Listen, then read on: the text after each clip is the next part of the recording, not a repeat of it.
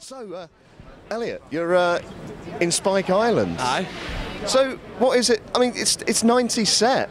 Now, I don't think you remember. it's funny. Everyone's been saying that. I, I literally, I was born in 1989, and uh, on the 3rd of November. So literally, when 1990 came in, I must have not even been one. So um, it's. Um, but I mean, I've listened to the Stone Roses for for a long time, as well as like the Smiths and and all that, like James Oasis and all that. I love that sort of music. So to me, it was nothing. But to some of the lads, I never even heard it before. So it was quite. Uh, it's quite funny, especially Jordan, who's one of, he was one of my mates before, and he, like he he didn't listen to that sort of music at all, and I played it to him once, and he, he, he bought the album now. He loves it, do you know what I mean? But he's just hilarious, just hilarious thinking that he's listening to that sort of music. I just couldn't picture it, but he loves it. Do you know what I mean? He loves it.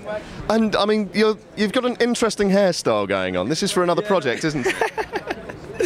You're the first person who said this to me so far, aren't you? Actually, yeah. Um, I'm doing a new um, Clio Barnard uh, film, which we're playing sort of. Um, it was a haircut, which is signature to Bradford. I'm led to believe, which is um, it's based around sort of like there's a young lad who's got um, who's got a mate who's a gypsy, and they go out robbing scraps, and basically I'm just his nasty older brother who steals his ADHD pills and just gets to be a nasty bugger basically. And then, but it's good. But I get to rock this um, little mullet for it and stuff. So you know, I've been getting a bit of stick, but it's all right.